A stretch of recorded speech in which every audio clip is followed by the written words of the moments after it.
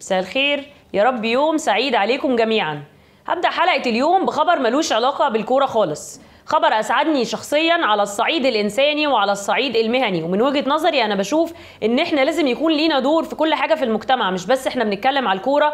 طالما أنا عندي منصة بقدر من خلالها إن أنا أوصل ليكم معلومات فيكون في منها العديد من الأهداف. اللي بيتفرج عليا من زمان ومتابعني هيعرف إن أنا كنت عاملة حلقات قبل عن موضوع التنمر.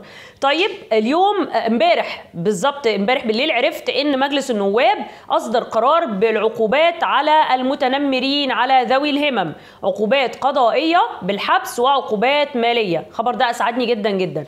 موضوع التنمر يا جماعة عشان بس ما اطولش عليكم هو بيؤدي لمشكلات كبيرة جدا. في ناس ممكن تفقد شغلها في ناس ممكن تفقد نفسها بمعنى الكلمة ويجي لها اكتئاب.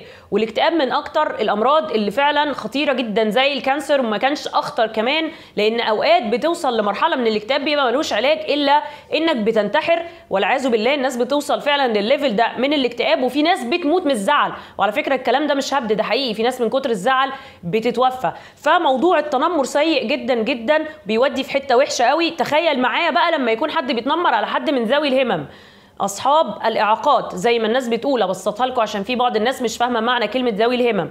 فالناس دي أنا عشت في وسطهم سنين سنين كتيرة جدا بحكم شغلي قد إيه هم بيبقوا ملايكة وبيبقوا جمال جدا وأهاليهم بيعانوا لدرجة كبيرة عشان يخلوهم مندمجين مع المجتمع. فإن أنت كمان تيجي عليهم مع الظروف ده بيبقى أسوأ حاجة في الدنيا. فالعقوبة دي بجد أنا عملت لي سلام نفسي غير طبيعي امبارح لما سمعتها. ندخل بقى في أخبار الكورة.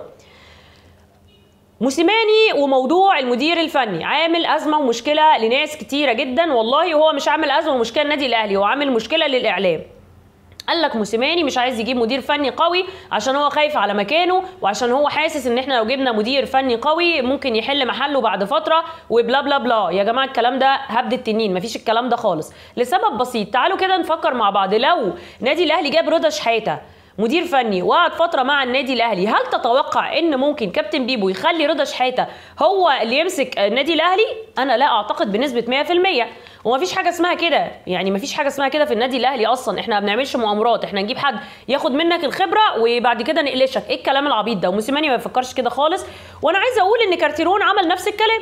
برضو مع قصة أسامة نبيه وأسامة نبيه مش موجود والناس اللي انسحبت من نادي الزمالك كارتيرون قال لك إن هو مش عايز مدرب آه عام معاه في الفريق. وهم بيبقى ليهم حسابات تانية. هم ليهم وجهة نظر تانية. وما ينفعش. الناس برضو دخلت قالت كابتن بيبو يفرض عليه اسم معين. كابتن بيبو اداله آه اسم كده طرحه للنقاش والكلام انتهى إن هو عايز يصعد أو آخر حاجة ممكن يتوصلوا إليها إن يبقى في تصعيد لكابتن سامي قمصان وخلاص على كده وما يكونش في حد تاني متواجد أو يجيبوا حد بديل عادل مصطفى أو مكان سامي قمصان لكن هو مش عايز اسم من الأسماء المطروحة. والموضوع سهل جدا يا جماعة ومش محتاج إن إحنا نعمل عليه حوار. بالأخير شيلتك أنت اللي هتشيلها محدش تاني. يا موسيماني أنت مش عايز مدير عام معاك؟ مفيش مدرب عام معاك؟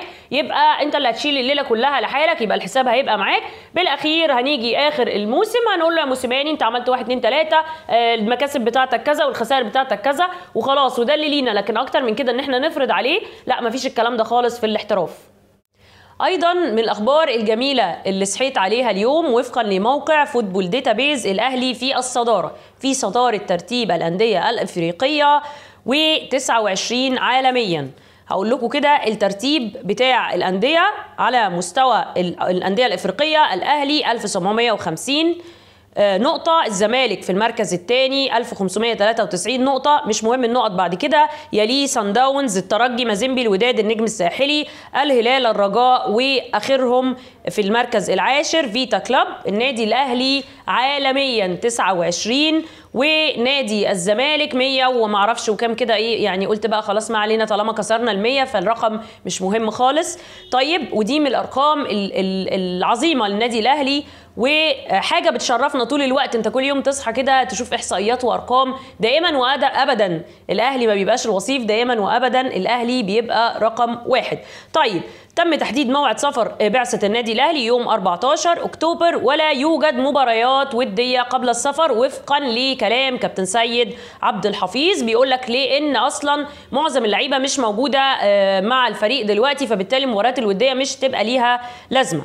طيب هكلمكم على موضوع اجاييه تاني وسريعا علشان القصة دي اتسألت فيها أكتر من مرة. من امبارح لليوم جالي كذا سؤال من أكتر من شخص على أزمة اجاييه وإنه اشتكى للفيفا وإنه في أزمة وفي مشكلة.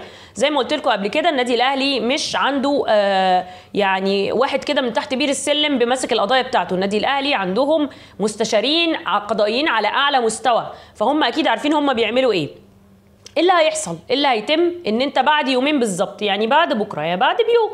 يوم سبعة هي هيبقى القيد هيتقفل. هيجي النادي الأهلي يقول له تعالى يا عم الحاج خد المستحقات بتاعتك انت لاعب حر خلاص.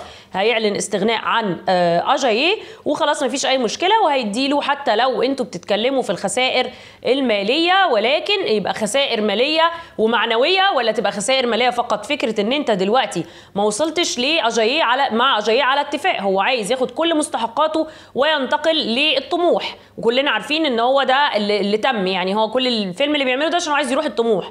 فبالتالي آه النادي الأهلي مش هيعمل كده. أنت هتاخد كل فلوسك وتروح النادي اللي على مزاجك. فلا طبعا الموضوع مرفوض بنسبة 100% وكلها يومين والموضوع هيبقى اتحل. ما كانش قبل كمان اليومين دول على فكرة لأن ممكن اجاييه آه هو في الوقت ده خلاص هيبقى واقف القيد آه القيد اتقفل. مفيش أي آه دلوقتي انتقالات تاني. فاللاعب هيقعد من الفترة دي لحد فترة الانتقالات في يناير هيبقى لاعب حر. فالموضوع بالنسبة له هيبقى برضو أزمة. فالله أعلم باللي هيتم الفترة الجاية ولكن أنا وجهة نظري شايفة إن ممكن تتحل في يعني في اليوم اللي فاضل ده إن اجاييه يتنازل مثلا عن جزء مستحقاته ويروح النادي اللي هو عايزه أو زي ما قلت لكم إن هو مع وقف القيد أو خلاص انتهاء القيد بمعنى صح يوم سبعة الموضوع يخلص. أما بالنسبة لموضوع كيروش والمنتخب والمؤتمر الصحفي والناس اللي سألتني انت ليه ما عقبتيش على المؤتمر الصحفي لأن ببساطة كيروش ما قالش حاجة مفيدة ولا مهمة في المؤتمر الصحفي فبالتالي أنا هعقب أقول إيه هو طلع ما أعرفش إيه إيه الهدف من المؤتمر اللي هو عمله ما استفدناش منه أي حاجة.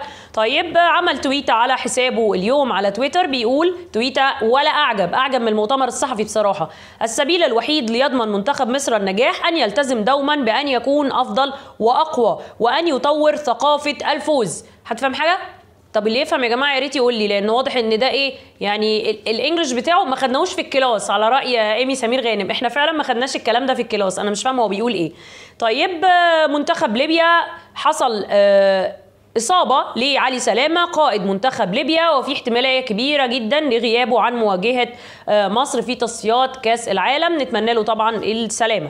حكيت لكم قصة كوميدية عن حد كان المفروض إن هو مش عايزينه في النادي بتاعه فبلغوا عنه الجيش. طيب هحكي لكم قصة جديدة كوميدية. لازم كل حلقة كده يعني نرفه عن نفسنا شوية.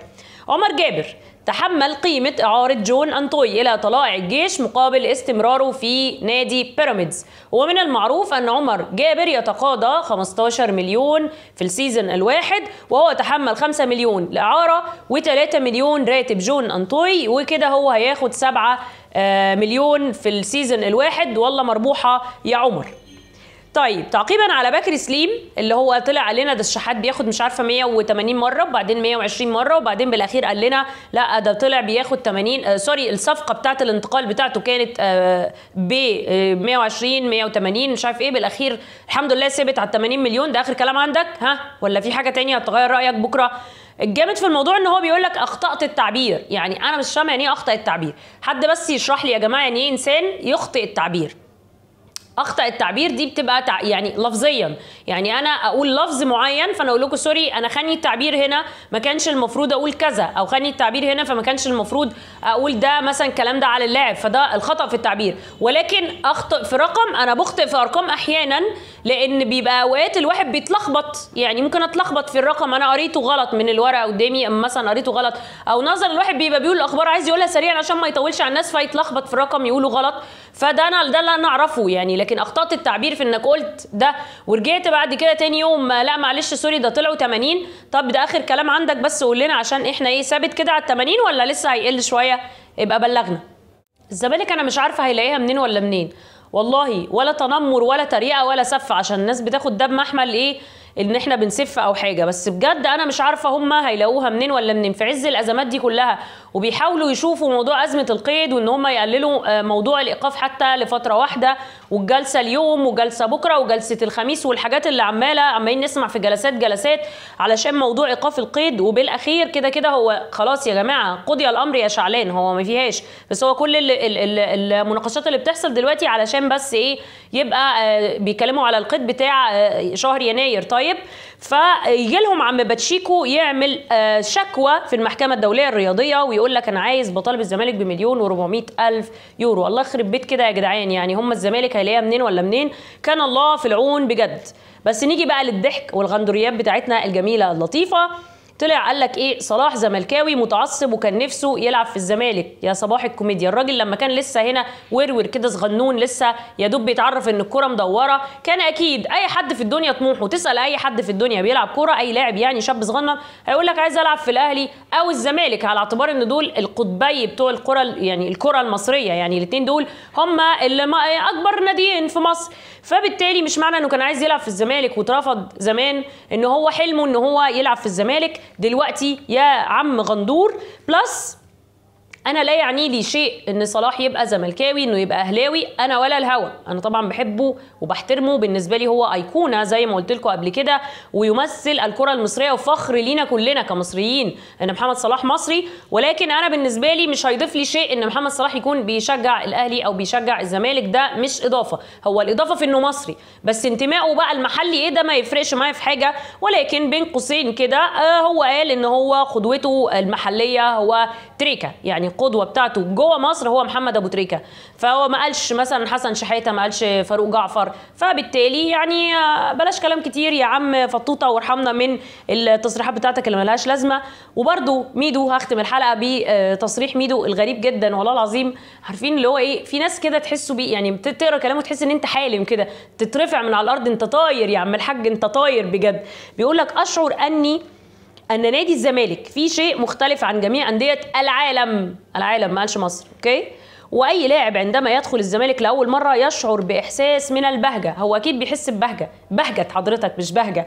طيب لم يشعر بمثله من قبل فأنا بالنسبة لي هو البهجة اللي هو بيحس بيها دي يا عم الحاج لما يخش بيشوف بقى الضحك بيشوف اللعيبة اللي ما بتاخدش مستحقاتها بيشوف اللعيبة اللي عاملة إضراب آه، بيشوف ال ال ال ال الإدارة الواحدة اللي هم كلهم متخانقين مع بعض فهو بيضحك. يعني هي البهجة جاية له من الضحك اللي بيحصل جوه نادي الزمالك. طيب مش عشان أي حاجة تانية هو فعلا مختلف عن أي نادي في العالم. مش طول عليكم أكتر من كده. ما تنسوش دعم بال like وال share.